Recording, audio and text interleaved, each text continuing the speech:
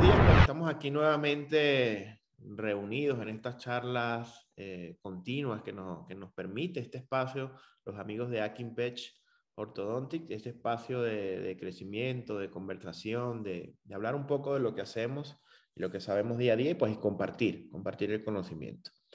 El día de hoy vamos a hablar un poquito de, del torque, el torque en ortodoncia, eh, en cuanto a las biomecánicas y aditamentos para obtenerlo de manera eficiente. Eh, el torque es una estrategia biomecánica que podemos lograr con algunas situaciones clínicas que nos ayuda a obtener movimientos vestíbulo-palatinos. Corona vestibular, corona palatina, raíz vestibular, raíz palatina. Y son movimientos de inclinación importantes, forman parte de las seis llaves de la oclusión que nos va a permitir eh, obtener resultados eh, saludables porque podemos controlar la posición de los dientes para mantenerlos bien en sus bases óseas y nos va a ayudar precisamente también en el detallado final de nuestros pacientes en ortodoncia. Dentro de las estrategias que tenemos de, del torque en ortodoncia, podemos comentar los dobleces, en el sentido los dobleces de tercer orden. Sabemos que en ortodoncia tenemos los dobleces de primero, segundo y tercer orden. Los dobleces de primer orden los hacemos en el plano horizontal, los dobleces de segundo orden los hacemos en el plano vertical y los dobleces de tercer orden son estos dobleces de torque o de inclinación vestíbulo-palatina que podemos igualmente imprimir en los arcos rectangulares para que al mismo tiempo ellos impriman esa torsión en el slot del bracket y se genera el movimiento, ya sea torque positivo o torque negativo, según la necesidad de nuestro caso. Hay aditamentos que podemos confeccionar también para generar el torque y vamos a ver en alguna descripción de unos casos que les voy a mostrar, vamos a ver algunos de estos aditamentos eh, que nos ayudan a, imprimirle torque a los dientes.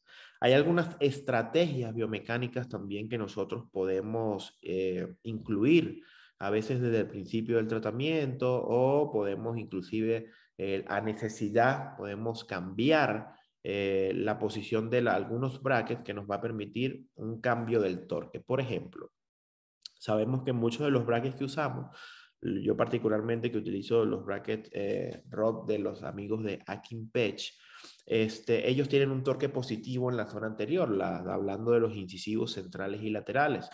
Este torque positivo se va a expresar cuando pues llenamos el slot con arcos rectangulares. Si la necesidad de torque de nuestro paciente en esta zona anterior es de torque negativo, una de las estrategias que nosotros podemos implementar en esa, en esa situación es invertir, rotar el braque completamente de cabeza para que el torque lo podamos invertir y en vez de expresarse un torque positivo, se va a expresar un torque negativo. También tenemos estrategias de torque a través de elastómeros y, y, cadenas, a través de mecánicas de elástico, que lo vamos a ver en algunos de los casitos. Elásticos cruzados generan torques eh, diferenciales, un torque eh, positivo arriba, negativo abajo, o negativo arriba, positivo abajo, según cómo coloquemos el elástico cruzado. Y pues también tenemos estas cadenas de torque ubicadas estratégicamente en los bordes incisales cuando queremos eh, aplicar un torque negativo eh, al arco como tal, y lo vamos a, entender y lo vamos a ver en algunos de los casitos que les voy a mostrar a continuación. Como primer punto, pues los dobleces de tercer orden, que son los dobleces de torque, se realizan generalmente en la etapa final del tratamiento, solo se pueden hacer en arcos rectangulares, evidentemente porque vamos a torsionar ese arco para que exprese esa información en el slot, generan movimientos vestíbulo-palatinos, coronas radiculares, y este torque puede ser positivo o negativo. Si vemos la foto que tenemos en la, en la pantalla, el lado, eh, mi lado izquierdo, que estoy mostrando con el cursor, ahí tenemos una torsión individual en un arco de acero 21 por 25, unos brackets Crystalline de zafiro de los amigos de Akin Patch y estamos imprimiendo una torsión mm, vestíbulo palatina de ese diente, en este caso un torque negativo. Eh, los dobleces de tercer orden, como les dije, son movimientos vestíbulo-palatinos. Ahí estamos viendo un torque vestibular o un torque positivo en superior y un torque vestibular o positivo en inferior. Ese es el movimiento que nosotros quisiéramos expresar en algún caso, en este caso, pues que los dientes estén retroclinados, los queremos inclinar un poco y lo podemos hacer con alguna estrategia de torque en general. O por el contrario, cuando están muy proclinados y queremos imprimir torque negativo con una palatina, eh, eh, se expresa esa información para inclinarlos hacia adentro o darles un torque negativo. Vamos a empezar a hablar un poquito en cuanto a los dobleces del torque individual. Individual se refiere cuando incluimos un solo diente. Se realizan con pinzas especiales que podemos conseguir igualmente allí eh, en Akin Patch, eh, que son estas pinzas de Orthoply que las tenemos en los catálogos.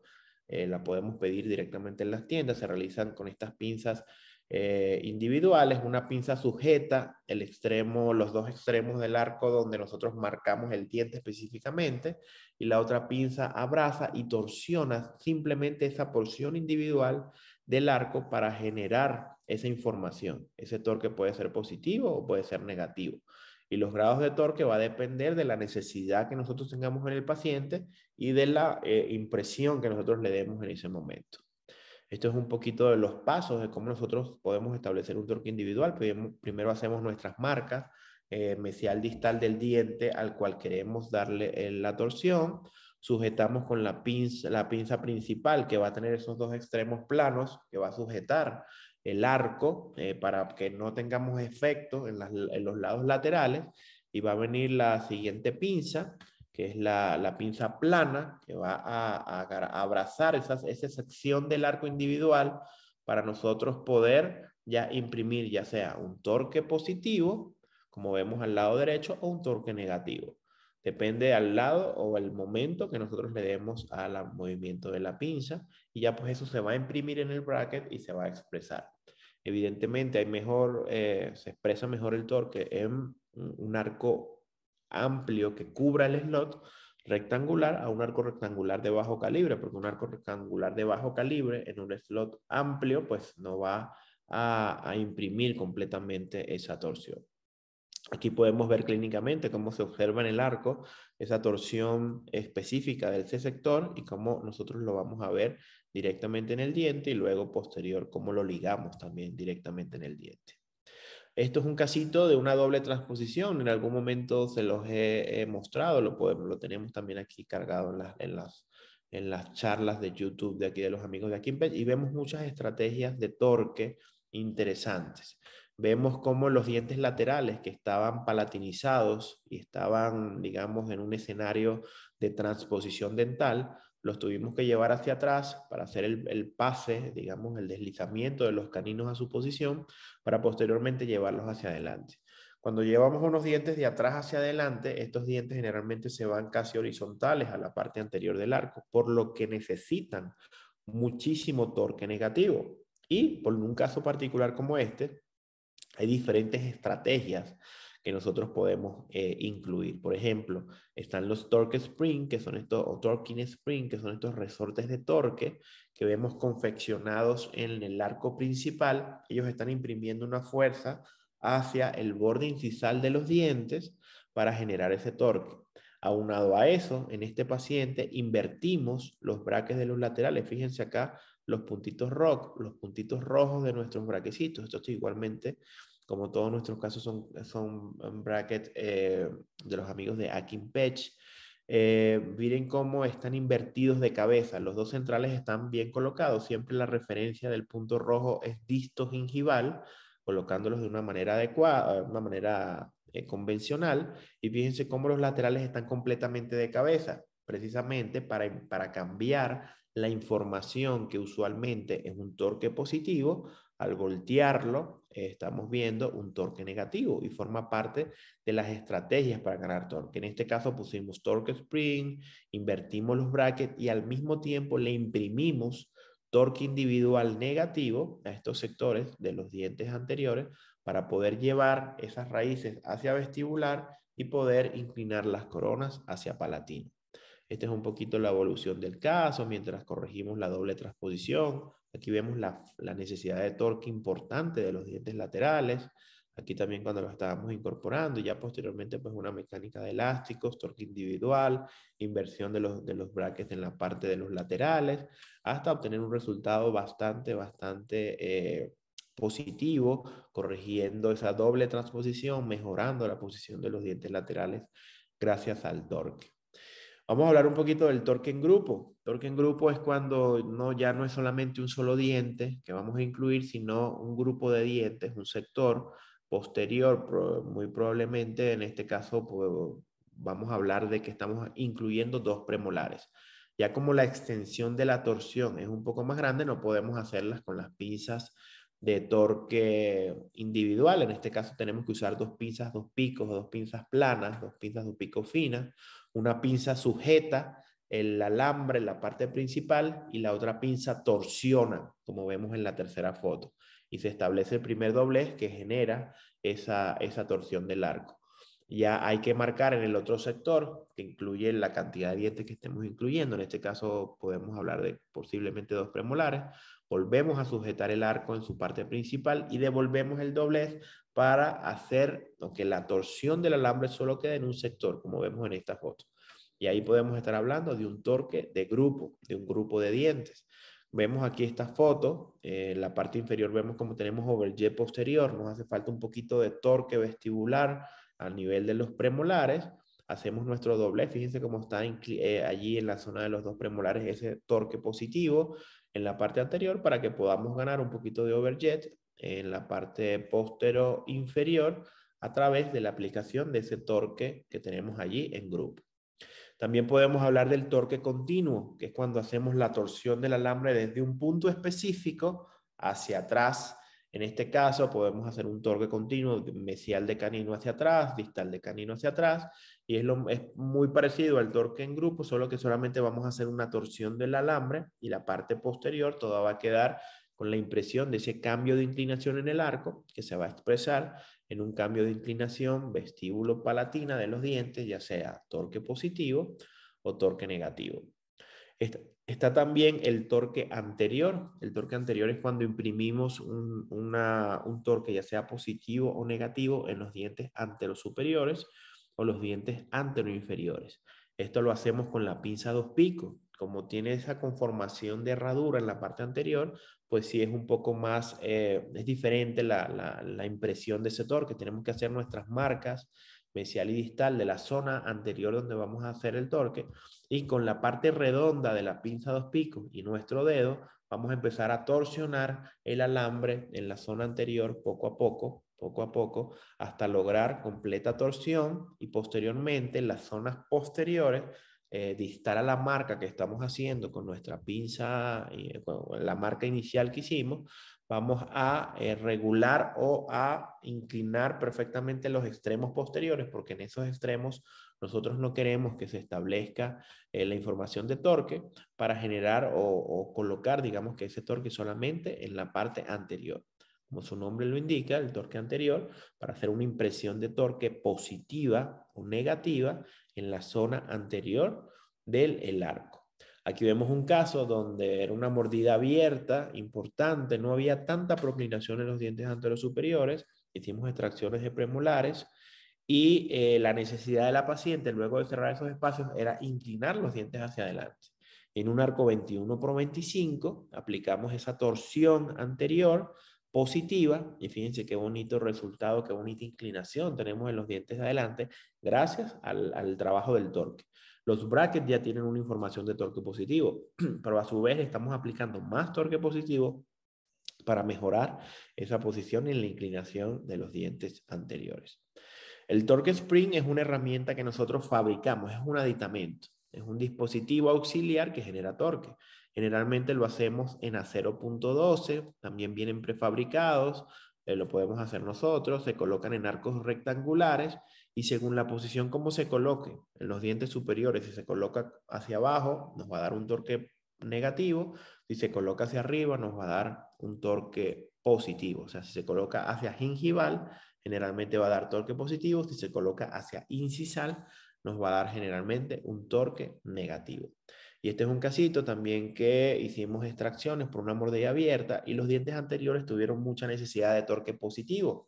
Y aquí vemos los aditamentos, los resortitos de torque, ya impresos en el arco, aplicando la fuerza hacia cervical para mejorar esa inclinación de los dientes, en este caso un torque positivo. Este es el resultado de nuestra paciente. Este es otro caso muy interesante también que tuvo mucha necesidad de torque. Fíjense dónde estaban esos laterales, estaban completamente palatinizados. Este caso llevó como estrategia extracciones de premolares superiores, extracciones de caninos temporales, un arco transpalatino eh, para anclaje modificado con unos fingers para llevar esos dientes laterales hacia los lados para posteriormente llevarlos hacia adelante. Este caso requirió de mecánicas de obtención de espacio, de aparato de anclaje, mecánicas de deslizamiento y muchas estrategias de torque. Torque spring, cadena de torque, inversión de brackets, torque individual y mecánica de elástico, prácticamente todas.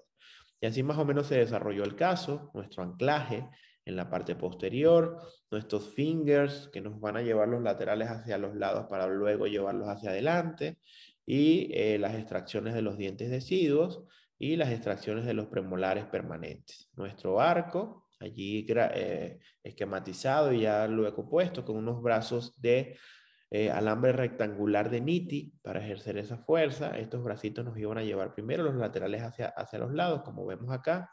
Ya colocamos nuestros braques, empezamos a manejar el espacio, empezamos a expandir con los arcos en la parte posterior. Ya luego esos mismos fingers nos iban a, llevar los dientecitos hacia adelante y empezamos ya pues con nuestro bondeo completo. Ya sabíamos que aquí vamos a tener una necesidad de torque bastante importante porque esos dientes vienen de atrás. Abajo había un canino completamente ectópico. Sacamos el canino y sacamos un premolar del lado opuesto para completar nuestro protocolo de extracciones. Empezamos nuestra alineación, nuestra nivelación. Empezamos a armonizar. Teníamos un, molar en mordida cruzada también en la parte posterior y allí empezamos a desarrollar nuestro arco ya de entrada sabíamos la necesidad de torque que iban a tener los dientes laterales. Entonces, fíjense, aquí vemos todo tipo de estrategias de torque. Vemos la inversión de los brackets completamente de cabeza para que el torque positivo que ellos tienen en su slot lo invirtiéramos a torque negativo para que un arco rectangular empezara a imprimir ese torque o esa torsión vestíbulo palatina de los dientes. Al mismo tiempo tenemos torque individual en los dientes laterales. Al mismo tiempo tenemos una cadena de torque. Recuerden que les dije que una de las estrategias eran precisamente estos elastómeros o cadenas que podemos usar fuera del slot de los brackets, en este caso pasando por los bordes incisales para imprimir un poco más ese torque negativo. Al mismo tiempo tenemos mecánica de elásticos de torque. Fíjense este elástico cruzado a nivel de los caninos. Este elástico nos está generando un torque positivo o está tratando de generar un torque positivo en los caninos. Fíjense que la necesidad de torque aquí es completamente diferente. El lateral necesita torque negativo y el canino, que es su vecino, necesita torque positivo. El torque positivo lo estamos eh, imprimiendo a través del elástico intermaxilar cruzado el torque negativo lo estamos imprimiendo gracias a la cadena de torque, gracias a la inversión del bracket, gracias al torque individual. En la parte posterior necesitamos torque negativo del molar y necesitamos torque positivo del molar inferior y por eso también tenemos un elástico cruzado inverso. En la parte posterior cruzado de vestibular a palatino, en la parte anterior cruzado de palatino hacia vestibular, de palatino superior, vestibular inferior. Y ahí vemos muchas estrategias, vemos ya el torque spring también aquí en el canino para imprimir o mejorar el torque positivo del canino. Y digamos que todas las estrategias de torque aquí las estamos aplicando. Torque individual, inversión de bracket. Aquí tenemos un torque spring para torque negativo. Aquí tenemos un torque spring para torque positivo. Tenemos cadena de torque. Eh, utilizamos los elásticos. Y fíjense cómo fue mejorando nuestro caso fue ya mejorando la inclinación vestíbulo-palatina, se mejoran los arcos, seguimos con nuestras estrategias biomecánicas bien, bien establecidas para obtener un resultado lo más eh, eh, detallado posible, lo, más funcional posible y evidentemente pues estético. Este es un poco el, la evolución de lo que es la doble hilera dental con la cual iniciamos y el resultado final de nuestro caso. Gracias. Eh, en parte, obviamente, toda la estrategia diagnóstica, la aparatología, estos braquecitos que nos ayudaron tanto. Igualmente estos son de los braquecitos mini de los amigos de Akinpech y por supuesto pues el resultado final, un tratamiento estable, un tratamiento armónico, tratamiento donde liberamos todo ese apiñamiento y donde pudimos llegar a resultados óptimos, tanto por vestibular como todo el arco, la expansión, la inclinación de esos dientes, fue eh, de manera, la obtuvimos de manera ideal. Sus retenedores circunferenciales, eh, superior e inferior, con unos finger embebidos en el acrílico, porque esos son dientes que tenían posibilidad de, palatinizarse, de, cambiar el torque, pues esa también pudiese ser una estrategia en la retención que podemos usar por si la ocupáramos en algún punto del tratamiento. Y pues hemos llegado al final de esta charla. De verdad que espero que la hayan disfrutado. Cualquier cosa, igual estamos activos a través de las redes sociales. Eh, estamos activos a través del canal de YouTube de los amigos de Akin Pech. Hay diferentes charlas eh, de diferentes eh, colaboradores y speakers que pueden disfrutar en la comodidad de su hogar. Y pues siempre vamos a estar por aquí, por mi parte, el doctor Jordan Sol, mensualmente, siempre aportando un poco más en este mundo de la ortodoncia. Hasta una nueva edición. Bye.